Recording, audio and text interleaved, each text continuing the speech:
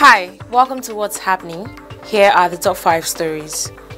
At number 5, operatives of the National Drug Law Enforcement Agency have intercepted 2,060 kilograms of assorted drugs, including heroin, methamphetamine, cannabis, tramadol, and refinol in Lagos, Ondo, Edo, Kano, Kaduna, and Plateau states.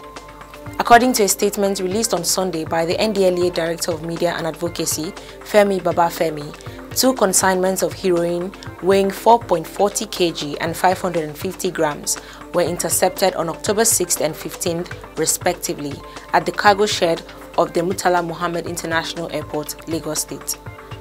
The first consignment was discovered inside bags of granulated sugar and flour from Johannesburg, South Africa, via Addis Ababa to Lagos on an Ethiopian airline flight.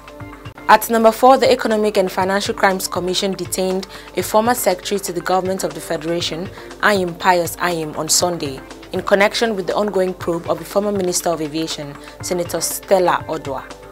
It was gathered that Anyim was interrogated for several hours in connection with 780 million naira, which was traced to a company in which he was a director. The former Senate President and SGF reportedly arrived at the EFCC office in the afternoon on Sunday and was squeezed for over six hours. His detention is coming days after Stella Oduah was indicted in the Pandora Papers as one of the top 10 Nigerians hiding their wealth in tax havens. At number 3, the governor of Oyo State, Seyi Makinde, has ordered that closed-circuit television cameras be installed in all the correctional facilities in the state, following the recent attack on a facility. The governor gave the order on Sunday when he visited the Abolongo Correctional Center, Oyo, which was attacked on Friday night by unknown gunmen.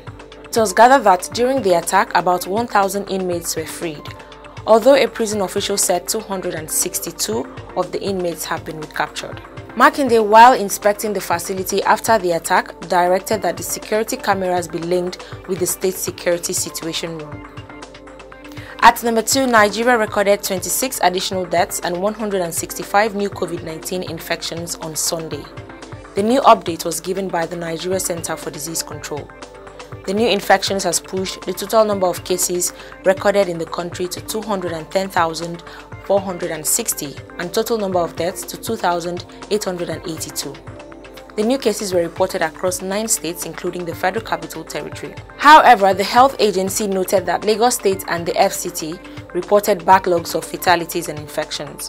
While Lagos State reported a backlog of 23 deaths for October 18th, 19th, 20th, and 23rd, 2021, the FCT reported 3 deaths for October 23rd, 2021.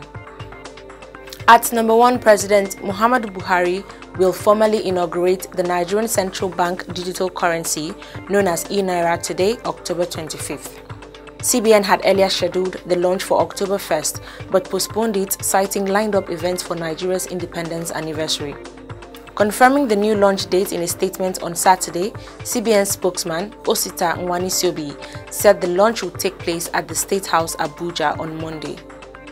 He said following a series of engagements with relevant stakeholders, including the banking community, fintech operators, merchants, and indeed a cross-section of Nigerians, the CBN designed the digital currency, which shall be activated on Monday, October 25, 2021.